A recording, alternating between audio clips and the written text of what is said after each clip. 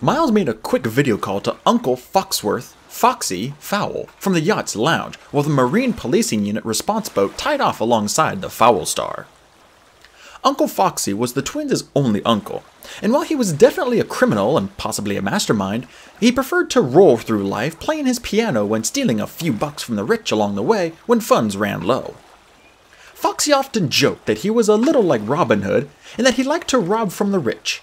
But where he and the thief of Sherwood parted ways was that Foxy preferred to keep his loot for himself rather than pass it on to the poor. So if mother calls, all you need to do is say everything is fine, said Miles to his uncle, who was sporting his usual uniform of silk lounge coat and fluffed cravat. And dear Angeline will believe me? asked Foxy, tinkling on his piano as he spoke. I certainly wouldn't believe me. Miles sighed. They had been through this already, and he could hear boots on the deck above his head. Mother will believe you because I have sent digital avatars of Beckett and myself to your phone, he explained for the second time. As far as Mother is concerned, we'll be right there in the room with you. That sounds infernally clever, said Foxy. You must teach me how to do that, Miles, my boy. I will, said Miles. But for now, you have to trust me that it will work. Trust costs money, nephew, said Foxy with a sly wink. Ten thousand pounds to be precise. Miles would have haggled over the cost of Foxy's collaboration on principle if he had had time, but he did not. Fine, uncle, ten thousand it is. Foxy must have realized that Miles was under pressure, for he added, Ten thousand per twin, that is. Ten thousand per twin, said Miles through gritted teeth, transferring the sterling within phone app. A bing on Foxy's phone signaled the fee's arrival. Capital, said Foxy. We have a deal and I'll see you later. Or rather, I won't, but your mother will. Miles, annoyed by his uncle hiking up his usual fee, ended the call without a farewell. Ripped off by my own relative, he fumed. It was not surprising that a fowl would make his money through extortion, but usually family members were out of bounds. There really is no honor among thieves, Miles realized now as he heard footsteps on the wooden stairs. Miles slid out from his seat in the lounge booth and stood to receive guests. He took a few breaths to calm down after the foxy blackmail call, and glanced at himself in a wall mirror to ensure that his fresh gloop tie was falling into the center of the V of his fresh clean suit jacket. Looking sharp, Dr. Miles, he told himself, then pasted on his always happy to see the police face, which he had learned from his father, who had learned it from his mother, and on and on back to the original mastermind, Red Peg Fowl. Miles' fake happy face was very convincing. He had, out of necessity, spent many hours perfecting it, as he was rarely happy to see anyone. Even members of his own immediate family were unwelcome in the lab if Miles was on a roll invention wise. Only Beckett and, lately, Specialist Heitz were spared this fake happy face and got to see the real thing, but they also had to put up with the scowls, frowns, and incredulous eye rolls that were Miles Fowl's go to expressions. So, face prepared, Miles turned to greet the first person descending the short flight of steps into the lounge. And even though Miles considered himself a professional smile faker, that smile instantly turned into a frown when he saw who stood in the varnished wooden doorway. It was apparently his arch enemy, Lord Teddy Bleedham-Drye. The Duke held up his hands and said, Now, my dear boy, I know what you're thinking. I was thinking you were dead, said Miles. But now I'm not so sure. Ten minutes later, Miles was feeling a little less hostile toward the visitor, but he was far from smiling, which was not surprising considering the Duke's recent attempted murder on his person. This person claimed not to be the Duke, but the resemblance was undeniably uncanny. The company was seated in booth style banquet seating, Fowls opposite the Lord Teddy look-alike, who had given his name as Proctor Juvenalis. Except for his head, which had all the bleed him dry hallmarks dark mane of hair, glacial blue eyes, and a nose so sharp it could administer paper cuts.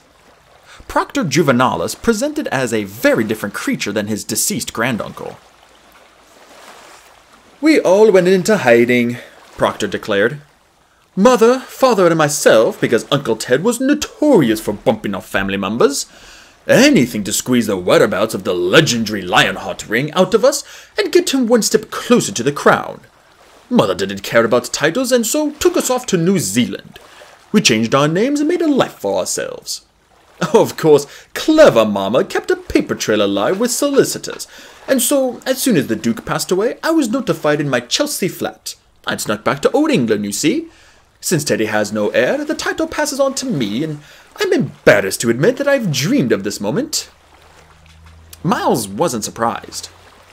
Don't be embarrassed. You'd be surprised how many people dream of meeting me. The man who called himself Proctor Juvenalis laughed delightedly, as though someone had told a joke. Miles did not laugh, and Beckett helped Proctor out. But people do dream of meeting Miles all the time, because of his big brain. Of course they do, said Proctor hurriedly.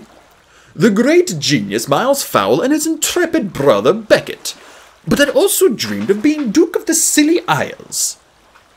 But mostly meeting me, Miles pressed. Absolutely, said Proctor graciously. That was certainly my number one dream. Very well, said Miles, satisfied. Continue. Proctor Juvenalis took an envelope from his messenger bag and slid it across the table toward Miles. This is why I'm here, Miles, if I may call you Miles. Miles opened the envelope, removing a sheaf of documents. No, you may not. But no need for formalities outside an academic setting. So rather than Professor Fowl, you may refer to me as Dr. Fowl. Proctor was taken aback, even though he had heard the stories about the precocious 12 year old. Of course, Dr. Fowl. Uh, apologies. Miles had a quick read, and while he did, Beckett studied the visitor. Proctor Juvenalis was a very different kettle of fish from his granduncle. For one thing, Teddy would be appalled at the lack of beardage on Proctor's chin. The younger man sported a small arrowhead goatee that pointed toward his navel, and his dark hair was coffee hipster long and tucked behind his ears. Wardrobe wise, he favored a simple linen smock, which could have meant he liked Korean culture, Star Wars films, or had just discovered an amazing designer. But still, Beckett thought, it could be Teddy wearing a magic cloak of morphin jellyfish. Krakark, one of his cormorant mates from home, swore that morphling jellyfish existed and were working with the seals to hide entire shoals of fish. Beckett had his doubts about that claim, as the cormorant's brother swore that Krakark liked to tell stories and was just a poor fisher bird. But Beckett had no doubt that this Proctor person was not Teddy. Not because he trusted his own senses, but because he trusted Whistleblower's nose. The toy troll was concealed in the storage area under the couch seating, and if he had smelled Teddy in the room, he would have scythed his way out of there and tore the Duke limb from limb. After all, Teddy had once hooked up the troll to a venom draining machine in an attempt to extend his own life. No attack from Whistleblower meant that this person did not smell like Teddy, and as Whistleblower had once told Beckett, You can change a lot of things about yourself, but you can't change your scent. At this point, the toy troll had passed Wynne violently to make his point. What are we getting here? There are notes of rabbit and asparagus, certainly, but the core is pure warrior troll no matter what I eat. Whistleblower was right. A person could not change their core scent. No scent, no Teddy. While Beckett was reminiscing about nuggets of troll wisdom, Miles was speed reading Proctor's document, blinking more rapidly than he usually might, as this was a memory trick he used to store information in his brain.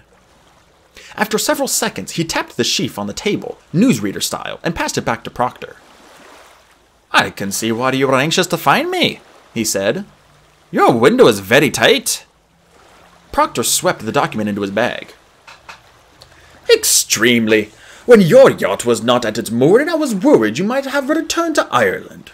Luckily, as the future Duke, I was able to avail myself of SO 14 services.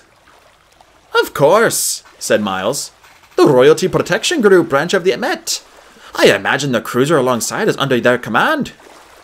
It is, said Proctor. They have been most accommodating. Apparently, the palace is eager to have a more amenable Duke in Chinderblain House.